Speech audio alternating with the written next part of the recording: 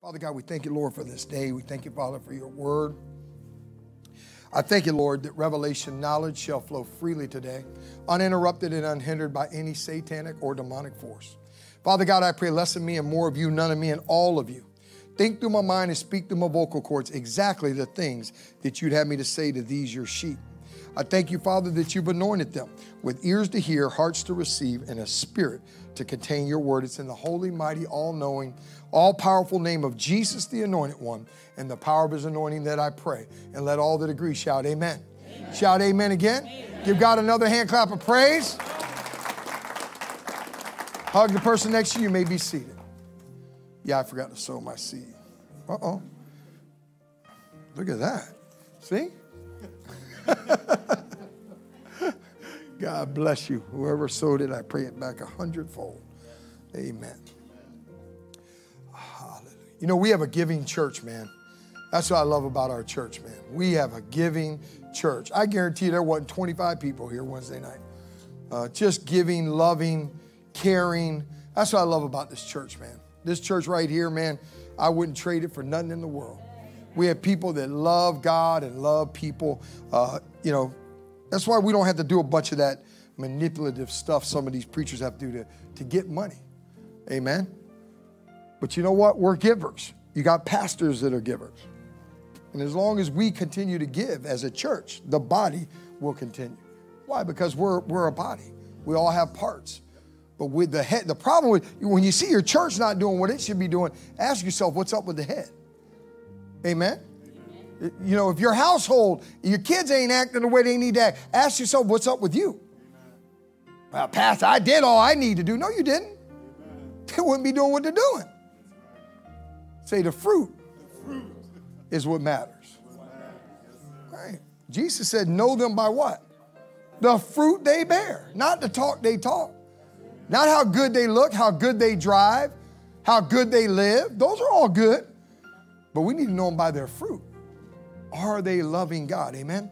So we talked on Wednesday, we're talking about the four pillars um, that made up Jesus as a man of God. And today we're going to talk about discipline, self control, and discipline. So the first one was loving, loving.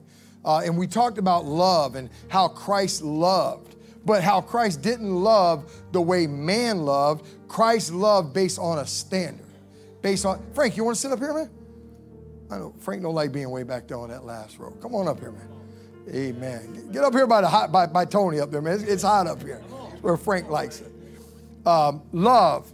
So he talked about love from a standards perspective. Jesus loved people and he loved people unconditionally, but Jesus also had a, a, a standard. Even when he forgave the prostitute. You know, everybody talks about how loving God was, how loving Jesus was. Well, you know, preacher, Jesus forgave the prostitute. How many y'all remember that? How many y'all remember Jesus forgave the prostitute? Who was with the prostitute Jesus forgave? Say the preachers. Oh, y'all can say it. I ain't with no prostitute. Y'all can say it. I have a woman of God. Amen. And she's more than enough. Amen. Say Jesus would say the prostitute. He was with the preachers. Because the preachers wouldn't have known, Teresa, what she was doing if, right? How you know what's going on in the tent unless you're in the tent? Hallelujah. But Jesus forgave the prostitute. How many people remember that? Everybody remembers that. Everybody. You, you could talk to a heathen on the street and they'll tell you Jesus, but Jesus forgave the prostitute. But you know what they never tell you?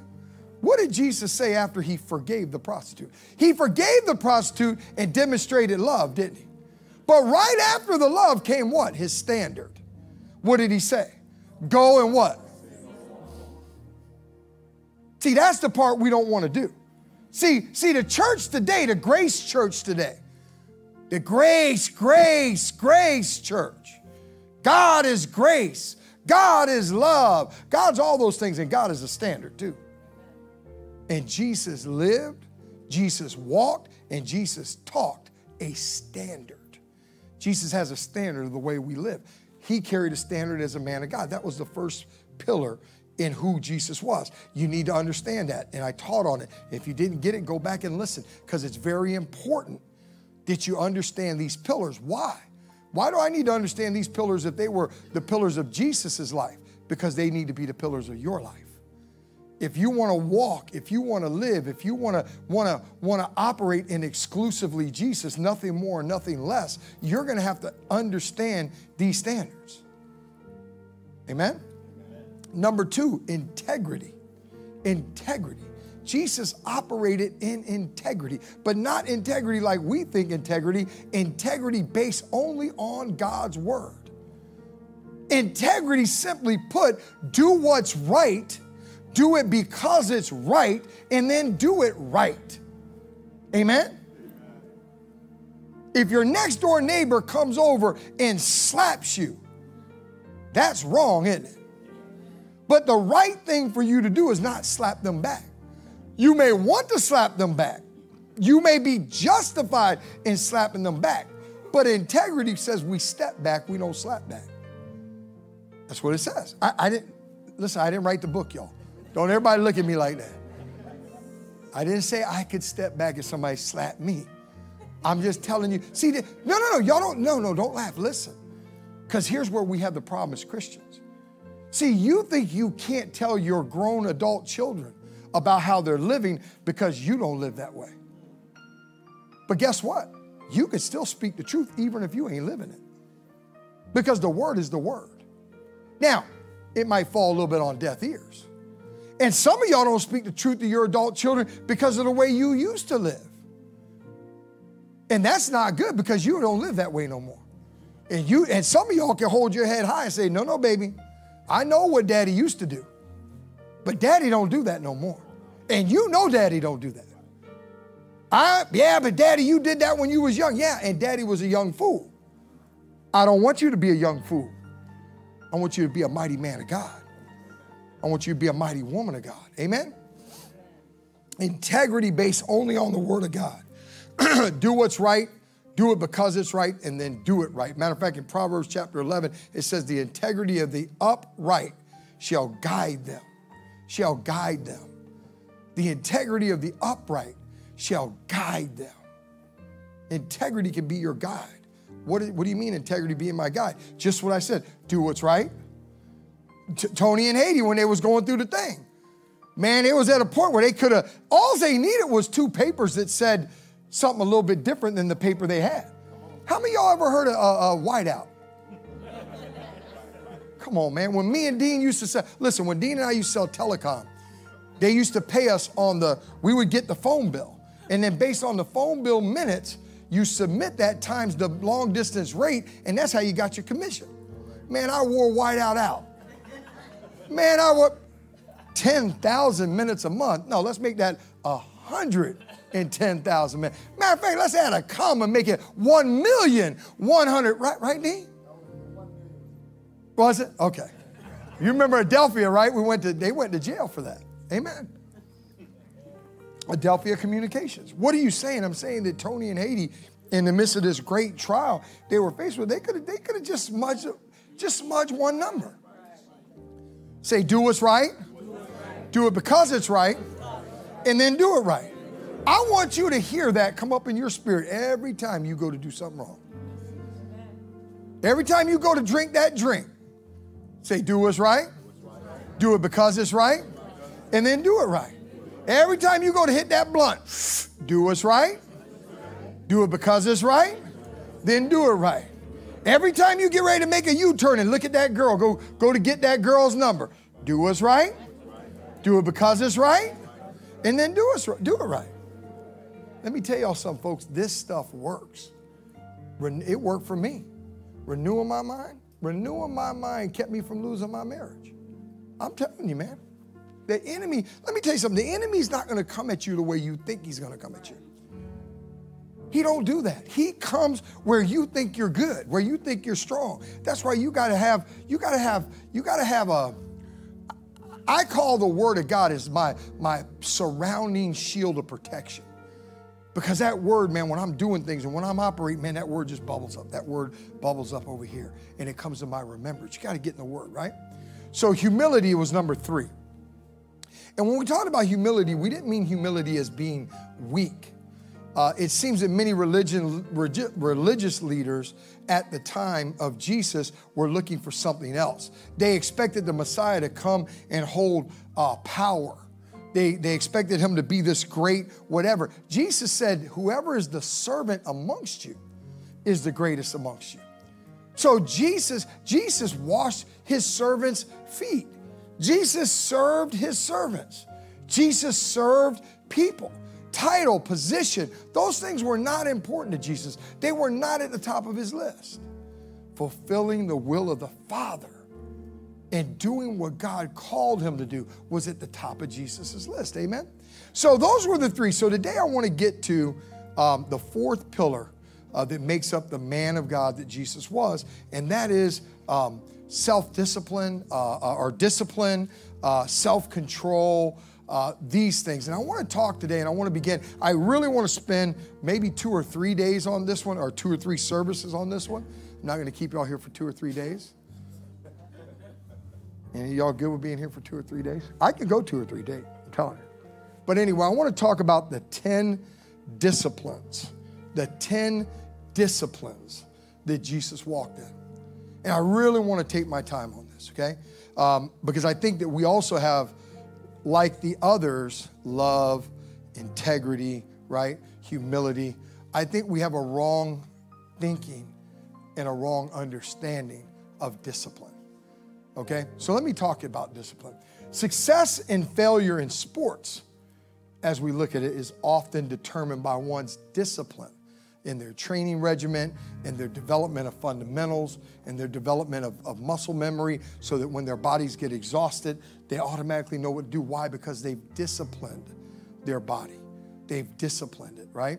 Uh, I know in boxing, man, I, I, had disciplines where even if I was wooky or, or, or wobbly, I knew, you know, if a guy's, you know, right hand hits me here, I know that I could throw a certain punch because of his hand touching me, that's going to be open. I don't even have to see it, right? There are natural.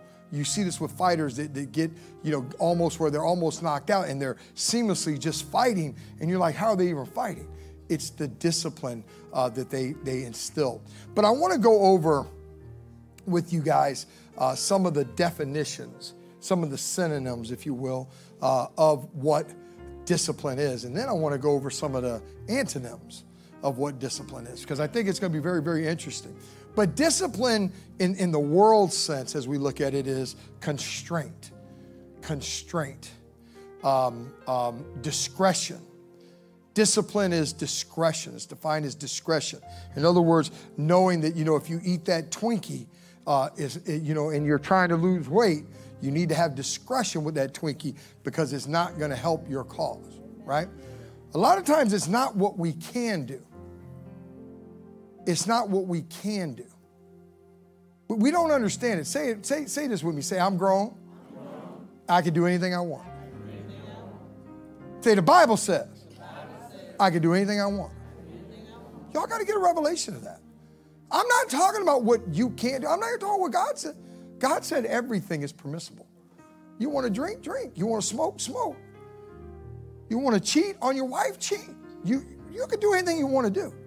But understand there are consequences to everything you do. And let me just share this with you. You don't always see the consequences. You don't always see the consequences. You got to get a revelation of that. Because you got to remember when you're doing things that you know you ought not to do, what's happening is you are sowing a seed. When you're doing things you, you not ought to do, you have to remember that you are sowing a seed. And remember what I said earlier today there's seed time and, no, and, let's not forget the and. What is the and? The and is the period between when you sow and when you reap. Seed time, say it, and harvest time. So it don't always, the, the, the, the, the, consequences of your choices don't always show up. I had a man I used to work with when I worked at a former telecom company and I was a pastor and we were having a Bible study and we, we, we had this conversation about drinking. And uh, after, the, after the conversation, I guess he was condemned because he drank every weekend. Um, he pulled me aside and he started to justify his drinking to me. And I said, Stephen, I said, you know, man, look, dude, do, do what you want. I, mean, I'm just reading the word, blah, blah. No, no, but I, I just need you to understand, Nick. He said, I don't, I don't have a drinking problem. I said, okay, man, you know, cool. He says, you know, I said, but you drink what? Every weekend from Friday at five o'clock to Sunday night when he goes to bed, they drink all weekend. That's what they do. That's what their family does. That's their family tradition. But he don't have a drinking problem. So I asked him, I said, well, just, well then, if you really want to see if you have a problem, just stop. Well, I can stop if I want to. I can say, okay, so just stop. And then I got the, the, the Holy Spirit gave me wisdom. And I put it to him another way. I said, see, Stephen, the truth is you have your drinking under control. He really did. He, he was an outstanding worker, outstanding guy, great guy. Uh, and that's what he chose to do on the weekends. And listen, drinking and, and, and being abusive in anything, in other words, overdoing anything, anything that is consistent in your life outside the word, when you don't choose to make the word consistent, but you choose to make another thing consistent, that other thing will eventually destroy you. Doesn't matter what it is. It could be playing football. Let's not use use drinking. You got, you know, you got, you know, it could be anything. But the point to Stephen was I shared a story with him about my cousins. You know, I had a, a family, a part of my family, where exactly the same as Stephen, my Uncle Mickey. My Uncle Mickey and my Thea Nana and that family drank every weekend. My Uncle Mickey worked for Schlitz Malt Liquor Brewery. And every weekend he'd bring home 10, 15 cases of beer or however many it was. And from Friday at 5 o'clock till Sunday, they would drink the whole weekend. Just having fun, not drunks. I mean, they just drank. It was fun, it was a way of life for them. And my Uncle Mickey was a stellar worker. My Aunt Nana, they raised, they raised their kids. They had 10, seven or eight, 10 kids. Do you know that every one of my cousins, so again, my Uncle Mickey was good, right? He ended up dying young because of the, the alcohol gave him real bad diabetes and he died like at almost 50 something years old. Uh, but so his life was taken short. But every one of my cousins is an alcoholic.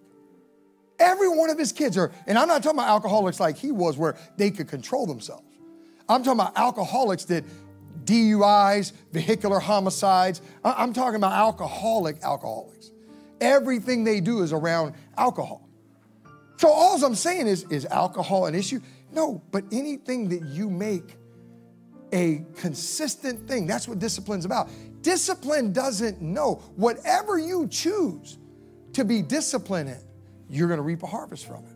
You need to understand that. And what God is interested in, He's interested in us putting Him first in all things. It goes back to what I said.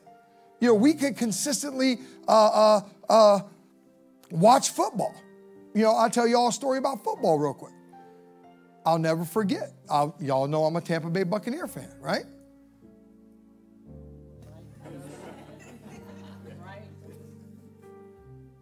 So I'm in the parking lot one Sunday at the church. I'm a pastor in the church. And uh, Katie and Mike pull up, two people that I knew. It wasn't literally Katie and Mike. And they hand me some tickets. Pastor Nick, man, we got two tickets to the Bucs game today at one o'clock for you. 50 yard line. I mean, you know, Teresa, I was excited. I'm waiting for service to end, right? So service is getting ready to end. I'm a pastor in the church now.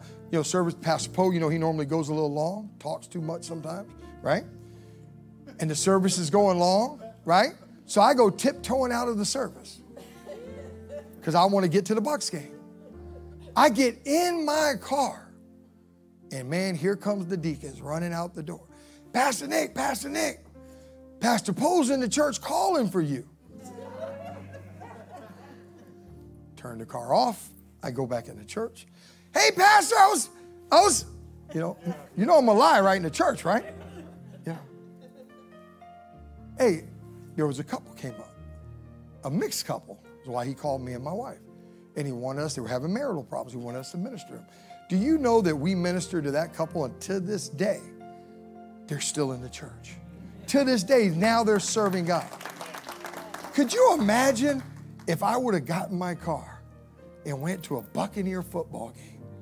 There's no telling where their little mixed kids, because mixed kids come up against different challenges than regular kids. And you got to know how to minister to these people because it is different, right? It's not special, it's not worse. You know, oh man, it's harder because I'm mixed. You just a wussy. You know, stop that. Everybody has challenges. So you need to be disciplined. So the word discipline means constraint. It means refrainment. See that? I wanted to go to the Bucs game. If I would have been disciplined of what I was called to do, I would have refrained from wanting to do that.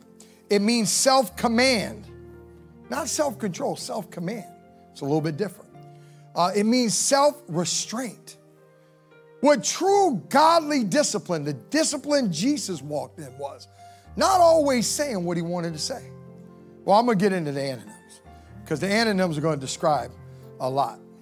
So let's look at some of them. Let's look at what Jesus isn't. I mean, what discipline, when you don't have discipline, what it causes. See, some of you think discipline is self will, self control. I'm going to get into that as well. But discipline, and when you don't have discipline, it will cause confusion. When you don't have discipline in your organization, it causes confusion. When you don't have discipline, it causes disorder. Disorder. It causes neglect. It causes uh, permissiveness. Lack of discipline will allow you to tolerate things you shouldn't tolerate. It'll, it'll, a, a, a person that lacks discipline will be defined as laid back. Oh, I'm okay, Pastor. I'm just laid back. I'm just easy going. No, you're undisciplined. You're undisciplined. Um, it'll cause you to be an undisciplined person. Listen to this for all my leaders. Will be undemanding. You're not demanding because you don't have discipline. You don't want to demand nothing of anybody because you don't want to be demanded of, because you're not disciplined. You know they're going to call you out. You can't be demanding for somebody to be on time because you're always late. You're not disciplined to be on time. Um, undisciplinedness will cause you to be very candid. Now, we're teaching right now, we got to be more candid. But there are some people that are too candid. They got to say whatever they want. You need to say what you need to say, but everything we say, we need, especially in, in church, needs to be led and guided by the Holy Spirit. Amen? Write this down. Discipline and self control in Christ doesn't come from your willpower to do. Discipline and self control in Christ doesn't come from your willpower to do, it comes from the routine you choose daily. Let me say it again. Discipline and self control does not, in Christ, does not come from your willpower to do. It comes from the routine you choose daily.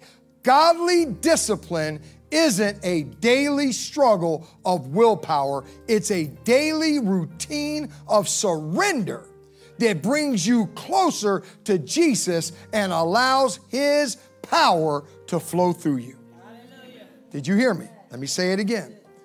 Let me say it again.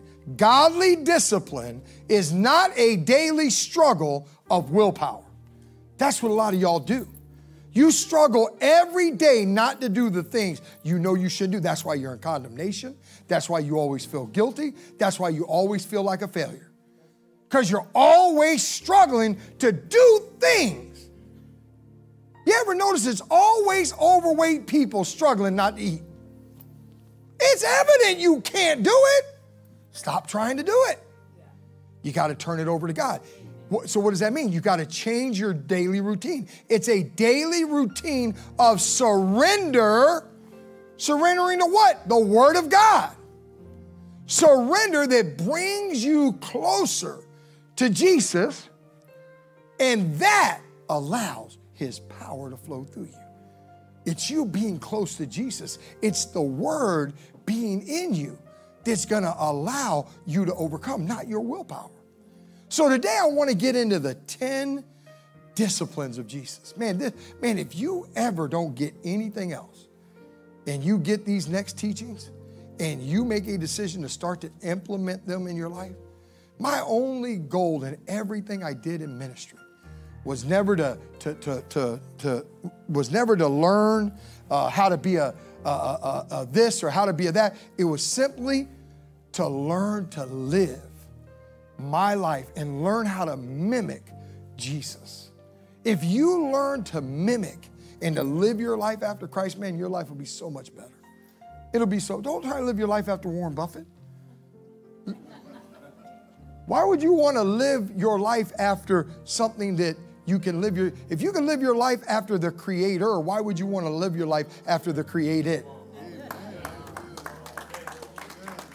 If you can live your life exclusively like the creator, why are you why are you why are you even measuring yourself up to the created? You know, before Warren Buffett did what he did, nobody did it.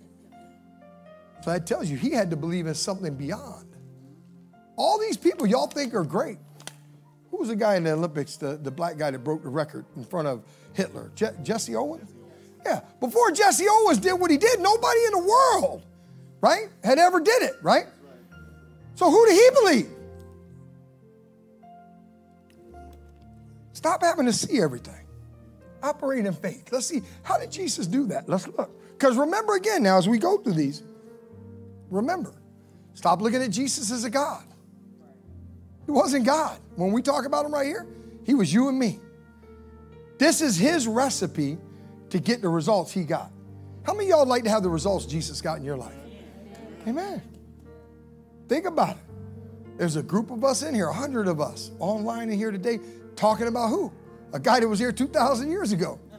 That's pretty good results. There are people all around the world talking about this guy that was here 2,000 years ago. How many y'all know he did, he did a pretty good job? He's the master of multi level marketing. Amen? He's the master of communication. He's the master of overcoming. He's the master of, de- of defeating the enemy. Why are we trying to look everywhere else? Let's look at the master's plan. Let's look at the master's blueprint. Amen? Let me ask y'all a question. Raise your hand, don't say it out. Just raise your hand. If I could tell you tomorrow, I'm gonna give you, Teresa, any blueprint you want, and I'm gonna lay you in the midst of any fast food restaurant you wanna pick, any one, any fast food restaurant, I'm gonna let you hitch your wagon to it. Raise your hand. Oh, raise y'all's hand. Who, who has one? Raise your hand. All right. Pick a fast, none of y'all wanna own a fast food restaurant? You can own a fast food restaurant tomorrow, and you're gonna get the blueprint of this particular fast food restaurant to hitch your wagon to. Which one would you ch- hitch your wagon to, Teresa? Chick fil A. How about you, Mike? Chick fil A. How about you, Tony? Panda Express. Who? Panda Express. Okay. Culver's. Chipotle. Chick fil A. Chick fil A. Chick fil A. Oh! Chick fil A. Why? Who? International House of Pancakes. But but but look, we had a lot of different ones. Chipotle, International House of pa- Pancakes, Culver's. But what was the overwhelming pick? Why? It ain't got nothing to do. You think it has to do with their food? Y- y'all sound like the people that think McDonald's at one time was the greatest fast food restaurant because they had good hamburgers. Does anybody in here like a Big Mac? Oh, oh, you do? Some of y'all have singed, singed palates. I get it. I get it. I get it. Few, few of y'all, I'm gonna leave it alone. I'm gonna stop. See, Annie, not everybody. See? Yeah. I, I can't I can't mess with her because I like Krystals, so may, maybe my palate's a little bad too. What's my point? Chick-fil-A has a really disciplined blueprint. They have a way they do things very consistently. They've demonstrated over time that it's not only that they deliver decent food, right? But they deliver consistent, right? You never get a cold french fry. Never. You never get, they forgot the pickles. Never, right? I want my milkshake a little thick. It never comes thin, right? You're not, you know that if you're in a hurry, you're never going to be in the line for 15 minutes. Never. Jesus would come back before that happens. Right? COVID came. COVID came. Everywhere else you go, we don't have this dressing because of COVID. We don't have this lettuce because of COVID. We don't have that because of COVID. Did you ever hear Chick fil A say one time, we don't have the Polynesian barbecue sauce for your, for your, what do they call chicken nuggets because of COVID? Did you ever hear the word COVID uttered at a Chick fil A? Never. Never. Now, I'm not going to go into the God part, their Christian, Christian. I'm not even going to go there. Forget that for a minute. I'm just going to tell you that they're disciplined in what they do. The day COVID came, the day they understood it, they went in, a, a group of the executives went into immediate action to go into a war room and devise a plan to continue to deliver their food in the same manner in which they always have. Why? Because they care. They care. The biggest Christian attribute Chick fil A has is they care. They care. That's, that's really what's made them all their money. They care about their customer. Amen? So let's look at the, the, the discipline, number one, of Jesus. The first discipline of Jesus was Jesus was disciplined about the company he kept. See, that's what's wrong with a lot of, a lot of you today. You don't have a word problem. You have a, you have a company problem. Because no matter how much word we pour in you, if there's a leak in the gas tank, you can sit there and fill that gas tank up all you want. But if everything you're putting in is constantly going out, how much gas will you have? Nothing. Nothing.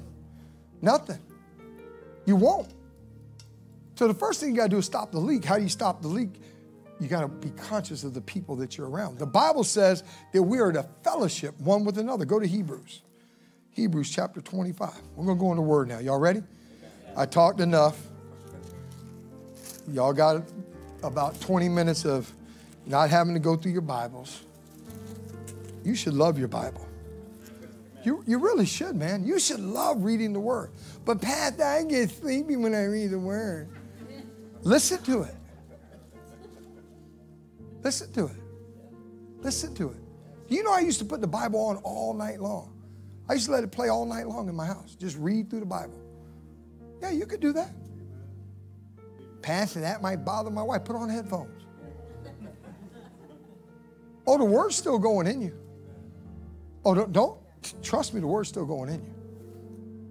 The word's still going in you. The word's still going in you. The enemy was trying to attack me one time at 4 a.m. in the morning. A Christian song was on Moving Forward. And man, he said some words in the word, and it woke me up in the spirit. I sat right up in the bed. Hey, Amen. We had been at Revealing Truth for a while. Things weren't getting better. Say, weren't getting better. Man, we were still broke. We were still struggling. Hey, Amen. House was being foreclosed on. Hey, Amen. Hallelujah. And man, the enemy comes into sleep, try to get you, tries to get you when you're tired. That's why you gotta, you gotta know that you know. You know, I told the enemy that night, I said, you know what, enemy? I said, I don't know much, but I know I'm where God called me to be. And I know I'm under who God called me to be under. And there's nothing y'all can do. You could take my house, I could be homeless. I'm not leaving where God called me to be. He did it to me twice in my life, two times in my life. The enemy did it. I mean, came at me real hard. Ain't gonna do it. Ain't gonna do it. I'm not giving up. And you know how I overcame that night? By what I just told y'all. I just gave y'all something, just gave you a nugget. Do what's right, do it because it's right, then do it right.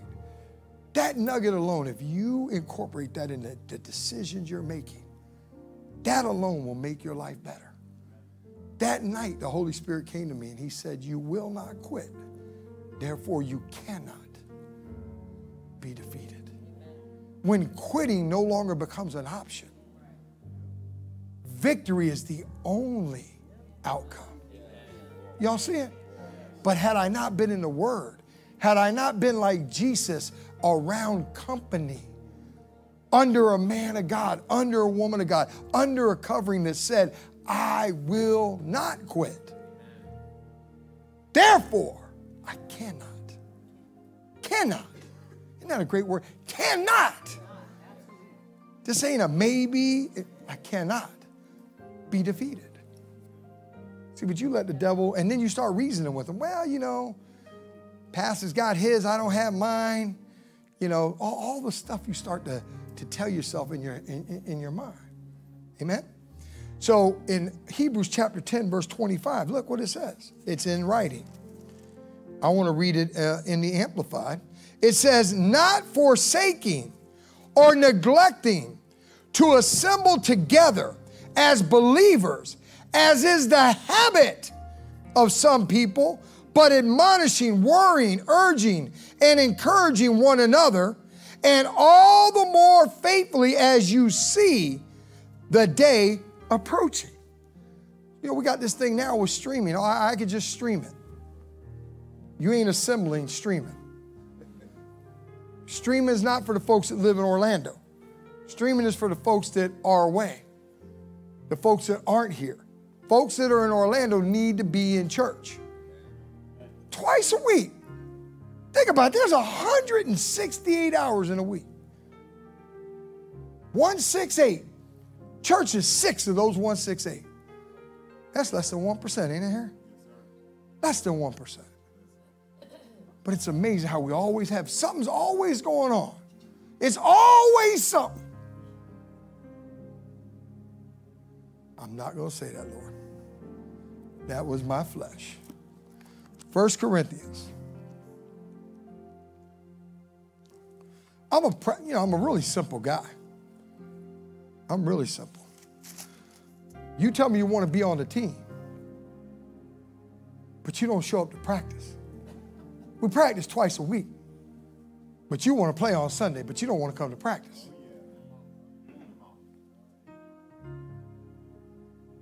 You tell me you care about the team. You're the one guy that we need on the team, but you don't show up to practice. Now, the coach ain't going to tell you he needs you. Why? Well, he's a real fool then. Amen. God ain't going to tell you he needs you. God ain't never going to do that. God won't, God will not make you get saved. God will let you go right to hell. You think he's going to tell you he needs you serving? That's why I won't tell you we need you serving. Never. But if you're on the team and don't think you should be at practice, maybe you need to ask yourself, are you really on the team? At least come to church. Get the word to be on God's team. Are you getting that word? Because if not, whatever team you're on, they're the ones that are going to resonate with you in the time of trouble. That's why the word don't resonate with you in the time of trouble, because you're not at practice. Chris, could you go out and run the route on Friday night if you don't go to practice? Can't do it. You're a great football player, aren't you? But if you don't go to practice, right? No matter how good you are, you can't know the route, right? Got nothing to do with talent. You could be the most talented kid on the team. That young man started for varsity as a freshman. You know he's talented, right? That's talent. Amen? I had an opportunity to play on varsity when I was a freshman, but not because I was a good football player, because I could kick the ball. I was a good kicker. in, in, my, in my day in high school, no freshman, right, Dean? No freshman played on varsity. None. It didn't happen. We didn't allow it. But it, my point is, it doesn't matter how good you are. If you don't show up, the coach can't put you in the game. It's only in the Christian church that we want to do less than and be exalted more than. Only in the church. And we'll argue that point in the church. Feel some kind of way when God ain't speaking to you and you're not even around God. Jesus was able to do what he did because of the people he hung around. Watch what he says here. Go to 1 Corinthians chapter 12. In verse 12, let me read this in the Amplified. He says, For, he says, uh, 1 Corinthians chapter 12, verse 12. He says, For just as the body is a unity and yet has many parts, you see that? And all parts, though many, form from one body, so is it with Christ the Messiah, one anointing. We, we have to understand that we have to be around. Go read all of 1 Corinthians chapter 12. That's all the whole thing talks about the giftings of God, the callings of God, the parts of God, the parts of the Bible, and us coming together. Amen? 1 Corinthians chapter 15, verse 33. Watch what this says. 1 Corinthians chapter 33.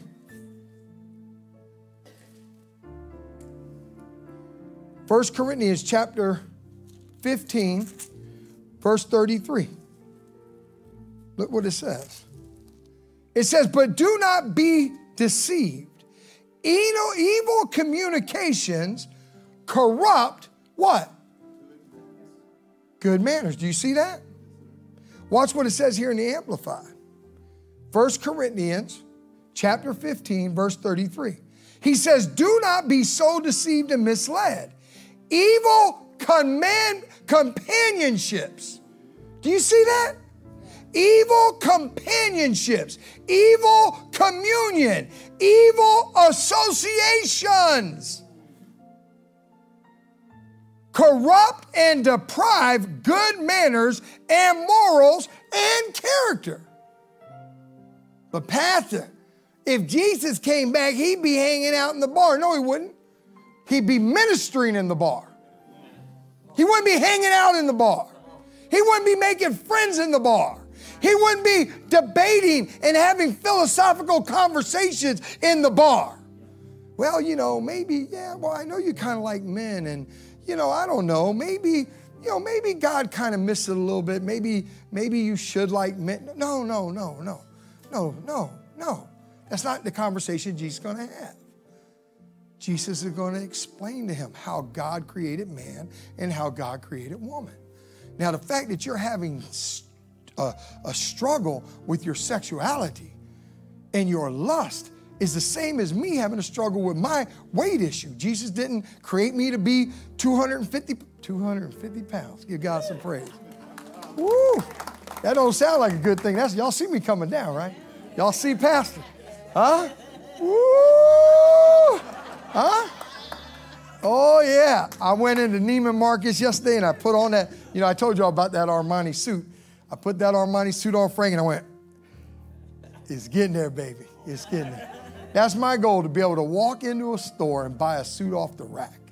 Just a regular suit. Not a, I don't have to go to the big man, Anne Marie. I have to go to the big, I don't want to be the big man no more. I want to be the normal man just for once in my life. Amen. I have to go get a special shirt. I can, I can just look at the shirt. 18 neck, 35 sleeve. Praise Jesus. You know, not 18, 35 large fit for my big belly, right? What are you saying, Pastor? I'm saying this issue I got is no different, but we want to treat it different. Why? Because we've allowed the world to convince us there's that, that it is acceptable. It's not acceptable. This is not acceptable. This is going to cause problems. It's going to cause issues. Wrong choices do. So, what is Jesus saying? We got to be around. He says here, let me read it again you know, Pastor, I know she's that, but but you know, I know she snorts coke and, and hangs out in the club, but I'm trying to convert her. You mean while she's snorting in your house? Smoking in your car? Huh? You ain't converting nobody. I'm gonna let Tony tell y'all testimony one day about, about somebody he was with, and praise God. Same testimony as I had, the almost same one. You gotta watch out who you hang out with, man. I tell people when I made this decision many, many, many, many years ago, I had to decouple from all of that. I couldn't go back there. Amen? Why? You can't go back to the people you're called to lead until you're ready to lead them. And if you could still be led, you don't need to be around them. Y'all know what I'm talking about? Some of y'all get around the water for 10 minutes, your lips get all dry. Praise you, Jesus. Boy, that water looks real good. You know. Y'all know I'm not lying. You know, y'all go to the club, then, you know, y'all in the club. I'm just at the club. Then you start thinking about one of them hot nights you had after the club. And then you did, you know, the next morning you're waking up and it was just another hot night. Right? Oh, I'm not lying. Y'all look at me like a fool all you want. I've been to all those places. You got to watch what you hang around. You got to watch the people. Jesus said it. You got to watch the people you talk to. Watch the people you associate with. What, what's the world is saying for you? Lay down with dogs, you what? Wake up with fleas, except if it's pencil, right? Pencil don't have fleas, right, Mike? Mike's got the best hound in the world, man. So he says here in 1 Corinthians, do not be deceived. So Jesus is telling us, don't be deceived. Your closest friends need to, pe- your, your inner circle needs to be people that are word people, word of faith people. Read 1 Corinthians chapter 5. 1 Corinthians chapter 5, verse 11. 2 Corinthians chapter 6, verse 14 to 7. 2 Corinthians chapter 6, verses 4, uh, uh, four, chapter 6, verses 14 to 17. I'm sorry. Amen? So, number one, and, and we're going to dig into these more on Wednesday, but number one, the company you keep. The number one thing Jesus paid mind to were the people that he was around.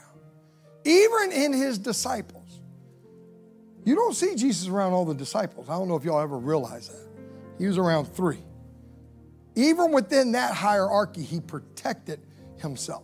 He ministered to three, the three ministered to the rest, the whole nine yards. He ministered to everybody, but he was closest to, to three. Amen? Number two, and I think this is one of the most important ones, but you got to learn it both ways. The discipline, Jesus had the discipline of forgiveness and loving the unlovable.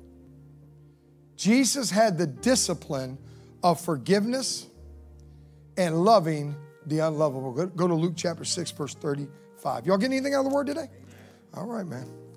We're going to get this. I'm telling you, man, if you just learn these, you take these 10 principles of Jesus and you make them as real to you as the 10 commandments, write them down. I promise you, you make these part of your monthly reading, your life will get better. Your life will get better because you'll read one every month and you'll, you'll make an adjustment. That's another thing y'all need to understand. Don't go home after these and start beating each other up. Did you hear Pastor Nick? You need to lose some weight. You ain't eating today. Matter of fact, you ain't eating for the next month.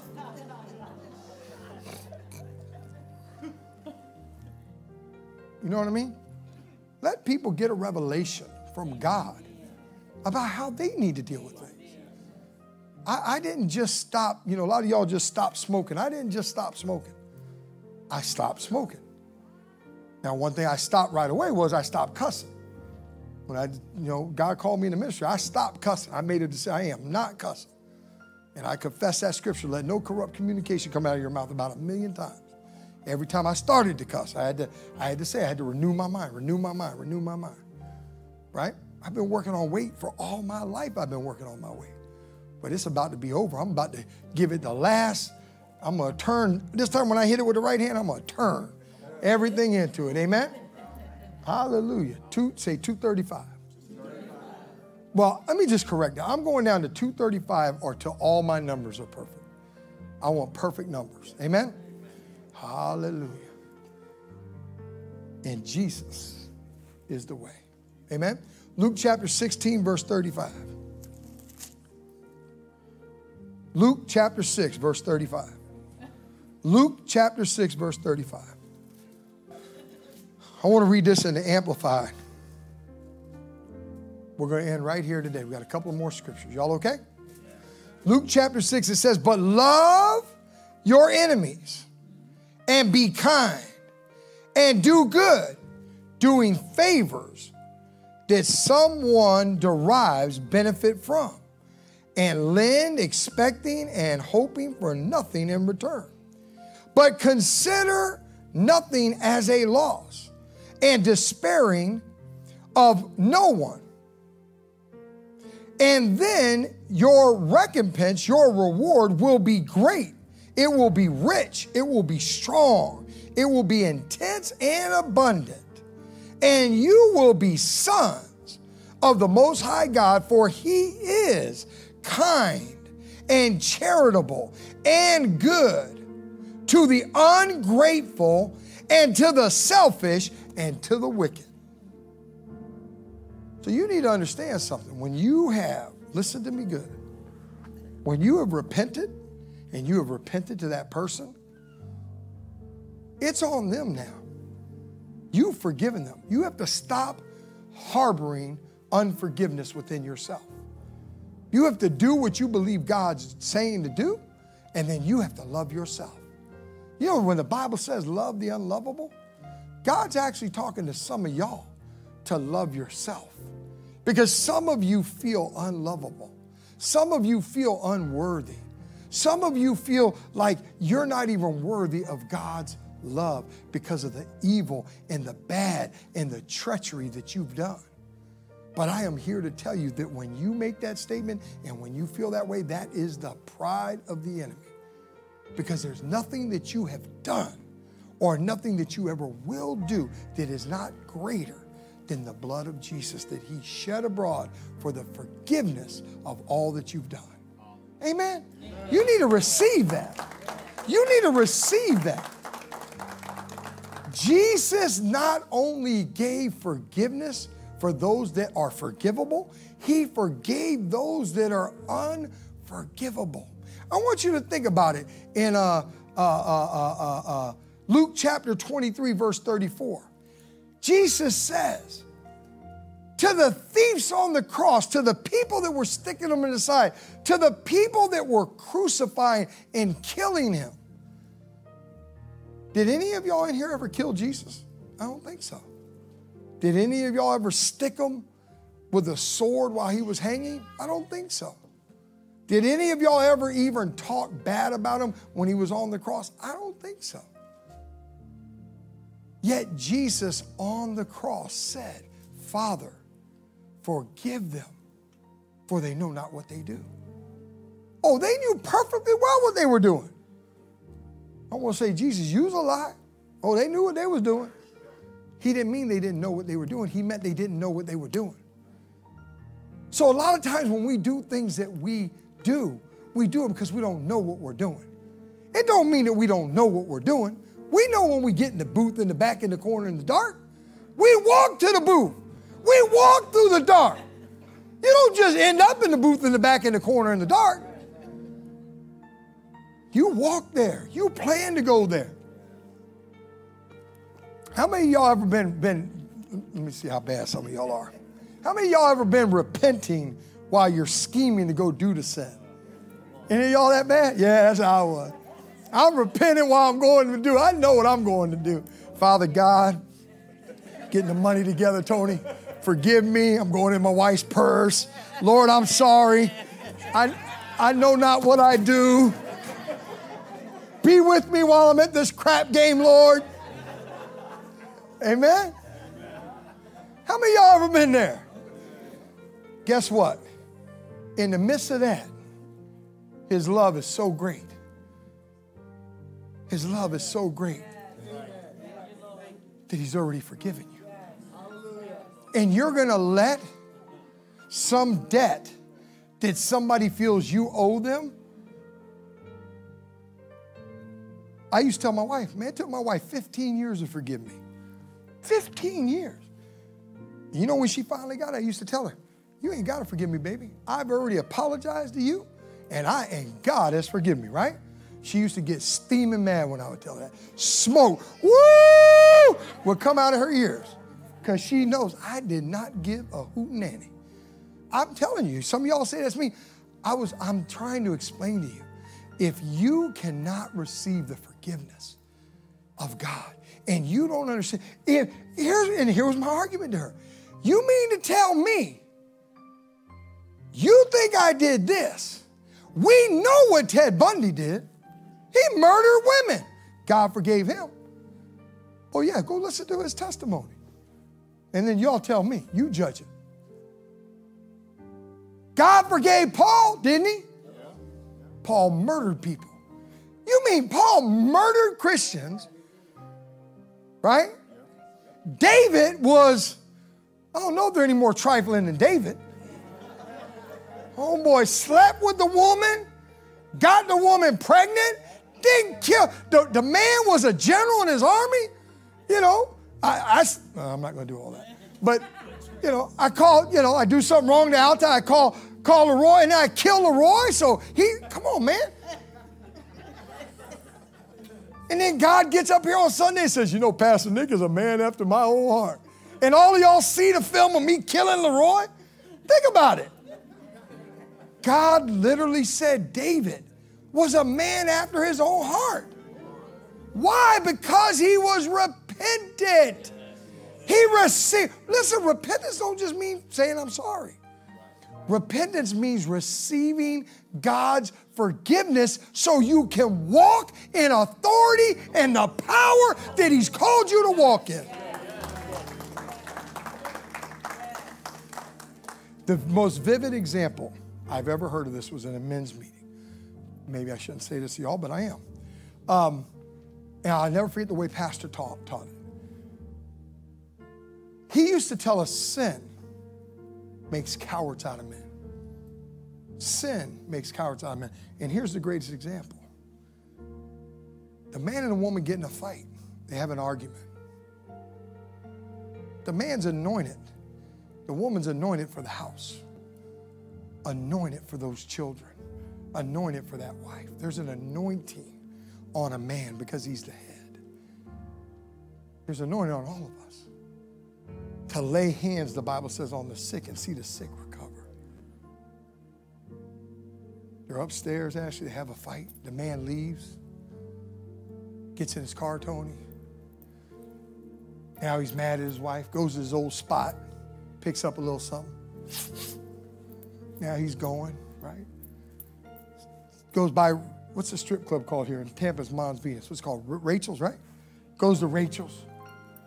Yeah, walks into Rachel's. Goes into the VIP room and does what they do in the VIP room. For those of you who don't know what goes on in the VIP room, in the VIP room, you can pay, pay, a, pay a little bit more money and get sexual pleasure. Amen? Oh, don't let, it's real here, Jack gets in his car, starts to come down off his high, starts to realize what he did. Now guilt and condemnation come over him. He feels real bad. Man, look at this. What did I do?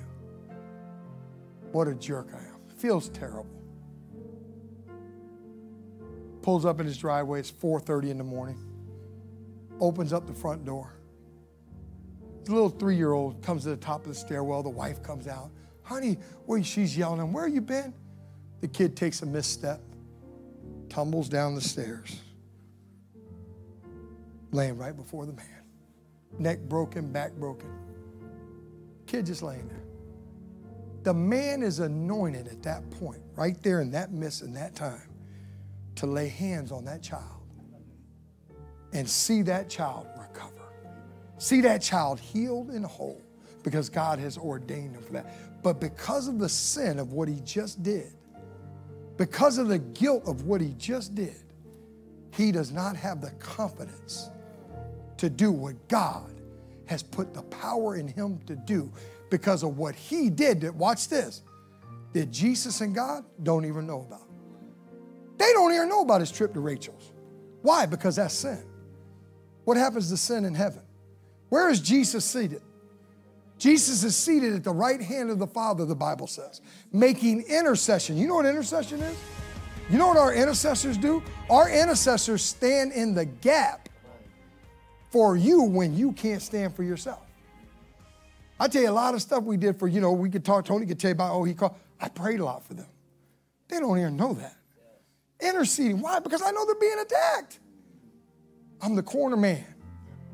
they're in the battle. Sin will make cowards out of men. You not receiving God's love and you not receiving forgiveness from God will make a coward out of you. Jesus forgave, and Jesus loved the unlovable. Some of you need to realize some of the people that you expect to love you, you expect to forgive you, that, that has not forgiven you, they are the unlovable. Stop looking for their forgiveness. Start loving them. Just love them. Just love them. But, Pastor, you don't understand how they treat me. You don't understand what they did. I don't need to understand anything. Just love them. Why? Because God loved you. Amen? Y'all get anything out of the word tonight? So the first two are number one, Jesus was disciplined about the company that he kept. And number two, Jesus was disciplined in forgiving and loving the unlovable. On Wednesday, we're going to talk about Jesus uh, being disciplined and spending daily time studying the Word of God. We're going to look at how Jesus handled that. And then the discipline of being in prayer. We're going to go through all these disciplines uh, that Jesus had. And, and again, it's going to be a lot. And I'm going to say a lot of things during this, this part of the sermon series. But the key here is, is again, listen to me. I don't want anybody beating themselves up. I don't want anybody be, we, look, we all miss it. We're all off. But the key is what we're trying to do now is we're trying to adjust our compass. And what we're doing right now is we're getting the settings. We're going to set our compass, right? We're going to set our mark. We're going to create our business plan exactly to the life of Jesus. It doesn't mean that tomorrow we're going to be on that plan, but that's what we're going to be focused on and we're going to be working to. Amen. Now, that means we're going to have some victories and we're going to have some defeats. But in defeat, we what? Say, I will not quit. Therefore, I cannot be defeated. Give God a hand clap of praise. Stand to your feet. Hallelujah. Thank y'all for uh, for just being here today. Bow your heads. Father, we thank you, Lord, for this day. I thank you, Father, for your word. I thank you, Father, for every person at the sound of my voice, Lord. I thank you, Father, for them having ears to hear today. And Lord, I thank you today, Father, for Jesus being the God of, of forgiveness and the God of love, the God that loves the unlovable. I thank you, Lord, that as I'm even unlovable some days, God still loves me. And I thank you for that, Jesus. It's in your name that I pray. Amen.